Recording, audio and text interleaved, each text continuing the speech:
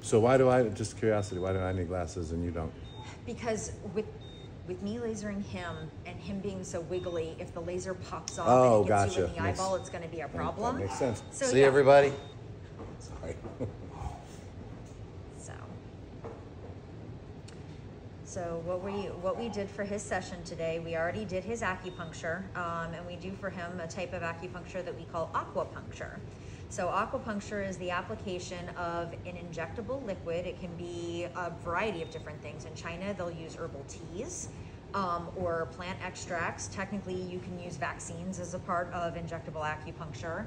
I use vitamin B12, but you can also use saline, and there are some aquapunctures where you actually use the animal's own blood. You can draw their own blood and then inject it in the different acupuncture points. What's the, um, if may I ask, what's the, uh, I mean, obviously I know what the benefits of, of, of uh, B12 over saline, but is that basically the benefits that the vitamins content and helps with? Not necessarily. So it's not necessarily the vitamin content, although I specifically use B12 because a lot of the animals that I am working with are chronically old and debilitated, so they're not absorbing B12 very well. Okay. So I do that first of all as a, as a vitamin replacement for them. Um, it's a fairly safe thing to use because it's a water soluble vitamin, so it runs a very low risk that we're going to accidentally OD them. Okay. Because even if we wind up using more than we initially intended or more than they need, their body's just going to kick it straight out of their kidneys, and and we don't necessarily have to worry about that. Um, but in Chinese medicine, vitamin B12 is slightly warming, so it actually brings energy to Oh, the acupuncture points. That makes sense. So it actually does kind of help warm things up a little bit, and it's not so warming that if you have an animal that has a, a what would be called a hot disease in Chinese medicine, um, it doesn't make that disease more dangerous. Um, so it's not something that we necessarily have to worry about. And vitamin B12 can also be very helpful with myofascial pain. So doing vitamin B12 injections for like myofascial pain can be very, very helpful. And again, since I'm usually working with more chronically debilitated animals, a lot of times they do have myofascial issues and I don't know if I'm helping. I'm listening. No, it's okay. It's okay. I'm, Um, Chinese squirming on you. I don't want to make sure it's not my fault. no, he's good. Um, but it can it can kind of help with some of that pain management as well. So I use it for a variety of different reasons, both its safety aspect and kind of the the secondary That positive sense, benefits yeah. of it. And again, then yeah, you do, you do get the secondary benefits of the B12 energy and everything else, right? Yep, Like it's- absolutely. Yeah, I'm a big So fan. yeah, I'm a big so fan of B12. so then what we're doing now is what's referred to as um, low level light therapy. Okay. Some people call it cold laser. There are a ton of different names for it. Um, but this is a class 3B laser, and we're doing this because laser can, first of all, help with pain management. And even though we don't necessarily think that his condition is particularly uncomfortable, as we do start restoring some of that nerve functionality because of the contraction of his of his um, muscles and his tendons, that is going to be stiff, that is going to be sore. So we know that eventually this might start to become uncomfortable as we restore some of that neurologic function. That makes sense, But yeah. also, laser can be very neuroregenerative, so it can actually help nerves kind of regenerate and reduce inflammation. And since this was an injury that was, or this is a, um, a condition that was brought on by an injury, even though it's an old injury, there's chronic inflammation in there that we that we want to try to help reduce, so that way, hopefully, the nerves can start having a little bit more freedom of movement and starting to get more um, more functionality and blood flow to them. Okay, now, ran, quick random question. Now that you mentioned uh, inflammation, is there any supplements I could be giving? I mean, obviously, you know, we do the CBD, and that's anti-inflammatory, but um, is there any other supplements that I could be giving him on a regular basis that might actually help with the internal inflammation? Right now, I would stick with just doing um, what you're currently doing. Okay. Um, technically, because we are in the state of Maryland as a veterinarian, I cannot make Gotcha. recommendations for Gotcha. CBD. Um, but as a private citizen, you're welcome to give your dog whatever you want to. Um, but at, at this point in time, I mean, turmeric, any of them? Or? turmeric is going to be really hot. Okay. And since he's a he's a growing boy and he he's moving a lot, it's not necessarily a bad one, but I just I worry that it's going to create a lot of heat in his body. Okay.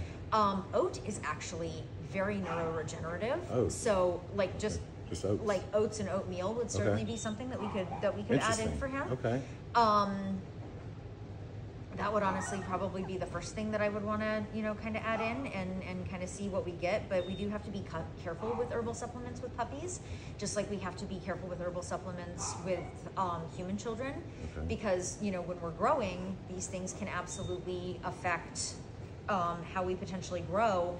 And not a lot of stuff has been tested in growing animals to know whether or not we're going to have any kind of influences on growth plates and stuff like that. So I try to be very gentle, and oats is a part of what is called the grass family, G R A S, which is generally regarded as safe. Okay. So it's usually things that are like food grade, and you can, you know, we don't have. You would have to consume a ridiculous quantity of it before it really became a problem. stomach would turn first. Yeah. So first. so yeah. So yeah, oats oats would certainly be something that that could be very very helpful for him. How about um mushrooms? Um, the microdosing. Um, I just thought about the connection with Chinese medicine too. I can't think of any specific benefits that mushrooms are going to have, Okay. but I love mushrooms. Mushrooms are absolutely wonderful. They're a really lovely source of kind of a, a plant protein. You're also getting kind of that umami flavor, which oftentimes will help make other herbs more palatable. And mushrooms, just in general, they're anti-cancer. They're Right. very, very supportive of a lot of different things.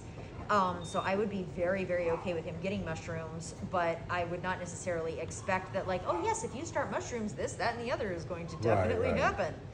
Um, the other supplement that you could certainly consider giving him would be astragalus. Astragalus. Astragalus is a it's a Chinese root, um, and astragalus. A lot of people know astragalus because, especially in more chronic situations, um, it it winds up being something like, oh, I'm getting older, I should start taking astragalus because it helps to boost your energy.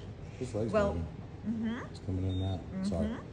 So with astragalus, it is what's called the male adaptogen. So adaptogens are herbs that they they bring you back into homeostasis. If you have an excessive condition, it's going to bring it down. If you have a deficient condition, it's going to bring it up.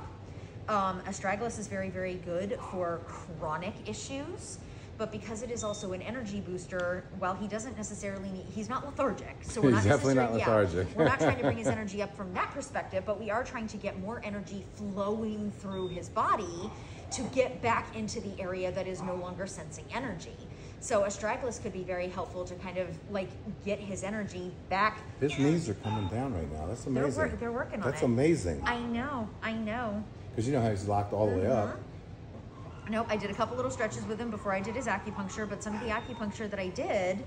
All right, buddy, your laser's all done. Bobby, you can take your glasses off. Alrighty.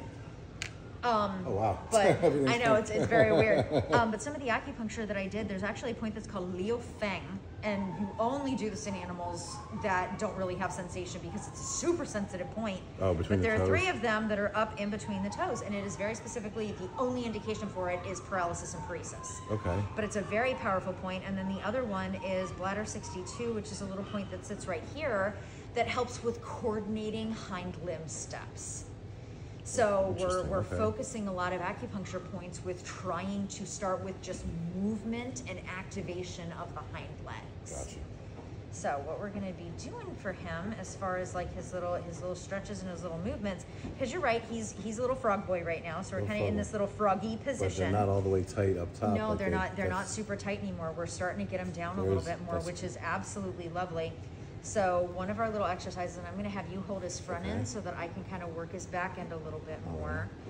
But Would this be better if I had somebody helping me do doing I mean, that? if you had somebody helping, yes. But I think that he probably sits still for you more than he sits still for me. So you may be able to do this one-handed. You would try to put a diaper on this boy? Yeah, no, no, not quite. So, but our first goal is going to be very gently just just trying to get him into a more normal dog position. Okay. And I don't care if his knees are tucked, like right now they're tucked all the way up against his body versus down like this. Mm-hmm. Okay. But once we get them into normal position, doing this is going to be helping with the range of motion within his hips and starting to activate and move some of those muscles and starting to stretch them into what would eventually become normal movement, either going from a sit up into a stand or through walking. So we want to bring those little leggies in and we want to do stretches. And you can either do stretches like right now I'm doing them concurrently, so I'm doing both legs in the same Mhm. way, or you can alternate because that's how his legs would wind up eventually Okay. moving. So this is going to be sitting standing, And that's what we- pooping, peeing. This is going to be walking. Okay. But that's that's going to be 100% helpful. We're also going to want to kind of get things down into the extended position and hold, and that's going to start to help to stretch the muscles.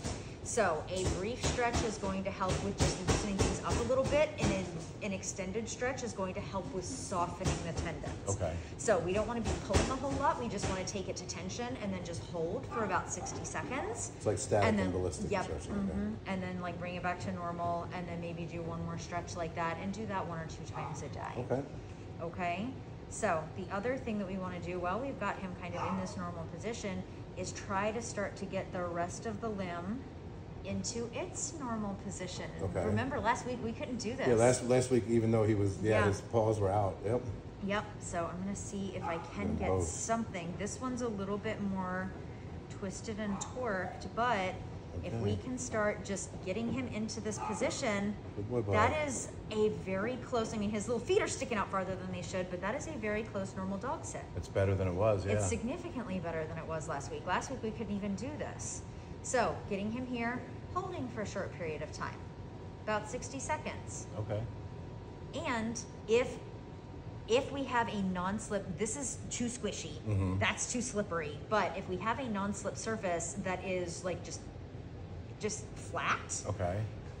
letting him putting him in this position and letting him sit like that on his own and trying to hold yes here we go we're gonna move him and we're gonna move the squishy and see if we can get him to just sit and hold this on his own because if his body can hold that tension and keep him in that position that would be amazing okay There we go. A little bit of food, all bugs. right are we still in the camera We are. Okay, here, you go ahead and hold front end. Okay, buddy, I know it's a food tray. Don't worry, we're not eating you. Daddy and I have already had lunch. Okay, so we're gonna try and whoop! Where you going, big Look at that, look at that! Look at you sitting like a Look at you sitting, bud. All right, so all I'm doing is I'm barely holding his toesies. I'm not. Yeah, I'm barely touching. Wow. Okay. So yeah, just putting his body in normal positions or as close to normal as we can is going to help with neural processing because it's just we're putting his neurologic system where it should be and getting his body to go, "Oh, this is this is where I should be." Okay. And it's going to help to create a little bit of balance. It's also going to help create a little bit of strength. It's going to start to stretch those joint capsules a little bit to try and get his body back into a more normal position. And that's kind of what we really need to do because until we can get his legs to be in a semi-normal position, we're not going to be able to start with like walking and moving other than in like a, a cart or a wheelchair because he's not going to, is even if we could get his legs straight, if they're sticking straight out, we're, Right. we're not going to get anything. So starting to work on just getting him into normal doggy positions. And then I'm gonna very gently hold there and try to lift him up. I know I'm trying to not pinch anything. I know things don't stretch very far, but now he's actually at full extension for both of his legs. So it's not very much because he still has a lot of yeah. contractual bend in his in his knees and his hips. But we're up a little, now we're down a little. Up a tiny bit. Now we're down a tiny bit. All right, I'm gonna very gently let go and just see. I'm gonna shift his, try and shift his back a tiny bit over. Yeah, There we 'cause go. he's definitely. Oh my god, that's so much better. I know it's I know, it's slipping out, but he's not putting a lot of weight and pressure on it right now. He's because he's used to just lifting his body up to go. Wow. But That's look at how much more guy. he's yeah, look at how much more those those legs are just like until he activates his muscles trying to move forward, those little kneesies are coming down a little bit more. So continue to work and stretch those. They feel much more pliable right now too. and that's some of that is the laser, some of that is some of the the work and and manipulations I was doing on his joints, and some of that's the acupuncture, just helping in the B12 to help soften that myofascia. Perfect. You did pretty good today, bud. You did amazing. You, little- saying look at you little dancing He loves the feet. plank. That's how he eats. His whole back ends up off the ground when he eats. So sweet. there you uh-huh. go. That's nice and straight. Now you twist it again. Get nice and straight for that. All right, honey, he is all set for today. Perfect. Thank you, doctor. You are welcome, dear.